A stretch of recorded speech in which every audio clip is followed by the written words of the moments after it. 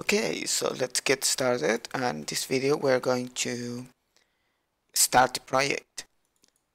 Uh, so yeah, we'll face the blank play, the blank page, that scary blank page. So how to start, right? Uh, there's a lot of um, uh, project generators and stuff like that.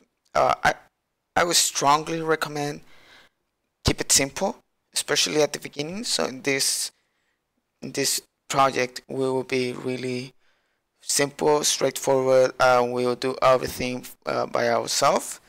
So we will understand everything going on in the project. So I will create a directory here on the terminal, and I will call it dgpy. That's the name of the project. Going there, so I'm inside that, and now the first thing will be uh, will be about creating a virtual environment. So a virtual environment is basically an environment just for our project. So that way we have like a local Python version uh, for the project, and we can make sure that the, our code work independent of the system. So we are not using system-wide dependencies, libraries, or stuff like that. Everything is like isolated. Uh, so that's a good idea. And in Python, we have a tool called virtualenv that create a virtual environment. so the way you do it is you call virtualenv. Um, my machine, I need to go virtualenv2 because I have Python 3 and Python 2. But you probably need to go virtualenv and then pass uh, a folder, a name basically, and this create a, a directory there. So we have a new directory called venv virtual environment, and now we just need to activate that. So activate venv, and there you go. Now I have my own Python environment. Uh, so I can do like things like pip list to see all the li libraries list and you can see like I have just the very basic libraries and there's anything else there so that's good. Uh, the next thing uh, we will need to do is use a virtual control system uh, to save like the state of the project. So in case we need to roll back to something we can do it right? It's like a it's not a backup but yeah have like snapshots of the project. And we will use git. So you probably have heard about git github. It's, it's very popular. It's really good so why not? So the way to create a repository here repository is the directory with the code just a fancy name. Uh, it's through git uh, init and that's it. So we now have a repository here. Uh, so if I well if I do a list oh you can see that there's a new .git folder in this uh, directory in our project and all the repository stuff is in there. So that's that's it. Uh, so the next thing well git allows you to do a lot of stuff like rollback see the status save snapshots and all that stuff. So the most basic stuff is git status. And at this point well it's trying to track them our virtual environment and that's not good because we want to save our project and not the environment right? The environment is like an external thing. So the way to ignore uh, the environment and every file in the directory that we don't want to track is through a file called .gitignore so we'll just create that file ignore. And this file we basically need to list whatever we don't want to track. It's like a pattern base.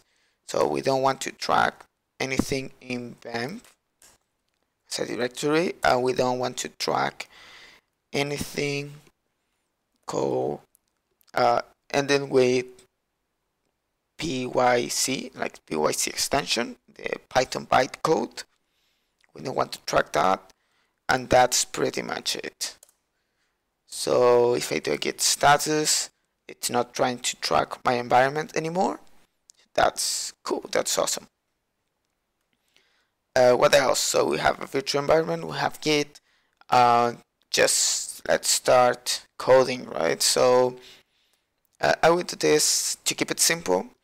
I will code implement all this the, the graph thing in one file and we will test that using the code in another file. So I will create uh, two files right? dgpy.py it's a python file and tests.py so let me open those uh, so dgpy at the left and test at the right. And for testing we can just use the code that's fine. So the first thing is just import dgpy which is empty at the moment but that's fine. And then we can we can just start like typing the, the code that you know trying different things. But I, I will recommend use a unit test framework because you have runners and it's easier. So we will use unit test so let's import unit test. Unit test is part of the standard library so it should be fine. And unit test requires us to implement a class with the test cases.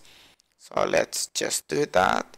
So class uh, let's call it usage case. And it comes from unit test dot test case cool I don't need that I don't need any of this. And the next thing is just implement a test. So test what we want to test we'll start testing base classes like very simple. So base classes. Self it's method we will do nothing for now so pass. And that's our test. And in order to run this uh, unit test implement uh, a runner which is kind of cool. And that's in unit test dot main. And main we additionally can pass a verbosity equal to 2 to make it verbose right? To know which test is which and all that stuff. So if I run this this file if I save this and well what's oh all good if we run this uh, like Python and execute this file, you can see that it's already finding one test, running it, and the test it's okay, it's passing. So all it's good, and that's pretty much it. So in the next video, we will start uh, implementing a really basic graph. And yeah, I'm trying to, to, to see how this methodology works and where testing comes in and why it's, why it's handy during the development of a project. So that's for the next video. Thank you for watching. Bye bye.